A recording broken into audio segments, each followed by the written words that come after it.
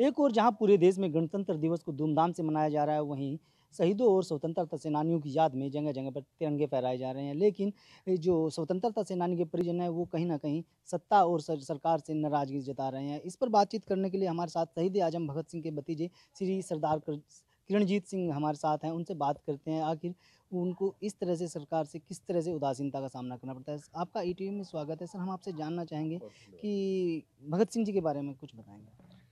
भगत सिंह जी उस लंबी परंपरा का एक हिस्सा थे, जिन्होंने देश की आज़ादी के लिए संघर्ष किया। उनके दादाजी से ये परंपरा चली। उनके दोनों चाचा स्वतंत्रता आंदोलन में रहे। सरदार स्वर्ण सिंह, उनके छोटे चाचा 1910 में शहीद हो गए। और दूसरे बड़े चाचा सरदार अजीत सिंह 40 साल के निर्वासन के लिए बाहर विदेशों में संघर्ष करते रहे। उनके पिताजी पर 42 मुकदमे चले। सरदार भगत सिंह जल उस परंपरा का एक हिस्सा थे। अठारह सौ सत्तावन के स्वतंत्रता आंदोलन से लेके 1947 तक साढ़े सात लाख से अधिक नवयुवकों ने देश की स्वतंत्रता के लिए बलिदान दिए और काला पानी की ऊँची दीवारें सेल्युलर जेल की और जगह जगह फांसी के फंदे।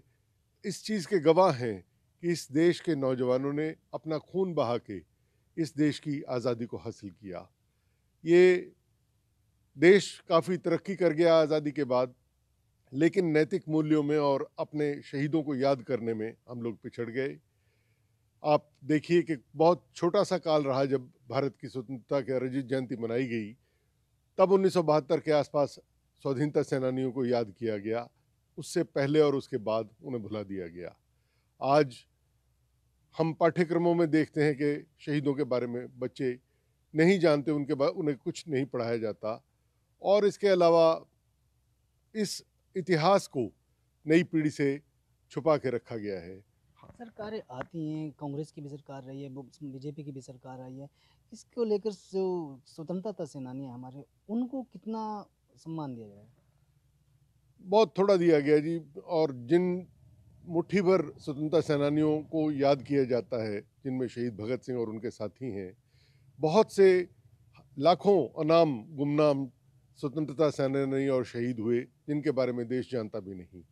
आज स्थिति ये है कि भगत सिंह जी की प्रतिमा पल, संसद भवन में लगवाने के लिए लगभग पचास साल संघर्ष करना पड़ा। अच्छा एक सवाल ये भी है कि अब एक आरटीआई में खुलासा ये हुआ था कि भगत सिंह जी को शहीद मानने से इनकार कर दिया सरकार ने। इस पर क्या कहेंगे बहुत खेद की बात है कि सरकार कहती है कि इसके पास देश की स्वतंत्रता में शहीद हुए लोगों की कोई सूची नहीं है। उनके पास कोई रिकॉर्ड नहीं कि इस देश के लिए किन किन लोगों ने बलिदान दिया।